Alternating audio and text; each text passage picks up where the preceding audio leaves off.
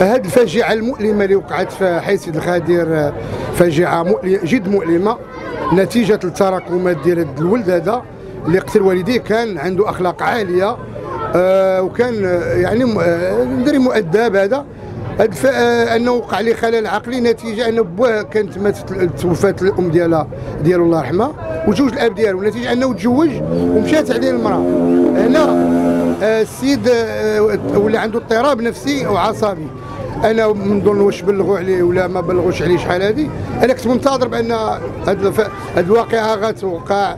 للأسف الشديد والله يغفر لهم ويرحمهم في هذا اليوم. ماشي ماشي ام ديالو هذيك زوجة الأب ديالو. آه أن تلقينا يعني حنا جيران المنزل ديالنا. ونفاص مع المنزل ديالهم. هذا غير مألوف. وللاسف وقعت الواقعه وان تلقينا خبر مفاجأة ماشي خبيثة بهذا المعنى. وما نتمناش من انها توقع مرة أخرى في شي أسرة أخرى. وكنطالب أن أي ولد آه، عند الأسرة ديالو مريض نفسي يلتجئوا للمستشفيات ويتلقاو العلاج ديالهم أفضل. الناس اللي توفاو كاين الأب ديالو. فهمتيني؟ في حالة خطيرة. ومرت الاب ديالو راه توفات. على ما كيقولوا الشهود العيان راه توفات. هاني لقاوها في حاله فاش دخلوا كيفاش لقاو اش غنقول لك أختي؟ ما على حسب ما تيعاودوا الناس. ها؟ هو ملي ارتكب الجريمة؟ يعني شي وحدة عيطات شي دريه عيطات للدراري قالت لهم راه ملي طلعوا الدراري كيف قال لكم الأخ قبيلة؟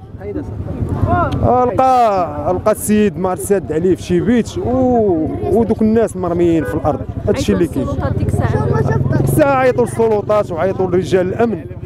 جاو داروا اللازم ديالهم يعني وشدوا داك السيد. اللي ارتكب هذه الجريمة. هي واحد القضية اللي بغينا نشيروا لها. هو أن هذا السيد هذا راه ما مبليش ما كيتعاطاش شي حاجة ديال التخدير يعني أي واحد سولتو هنا في الدربرق راه معانا وصديق ديالنا يعني دوز ما عندوش سوابق بتاتا. وربما هذه هي أول مشكل غيوقع ليه. في الحي كامل ما عمرو الضارب. ما عمركم سمعتوا يعني ما عمرنا بتاتا والو بتاتا. أنا كيف قلت لك ظاهريا انسان انسان الله يعمرها دار إلا كانت شي حاجة باطنية راه داك داك الشيء يعني راه مشاكل عائلية وصافي. ما تنساوش تابوناو في la chaîne وتاكتيفيو الجرس باش يوصلكم جديد فيديوهات بالبريس وتبارطاجيو مع صحابكم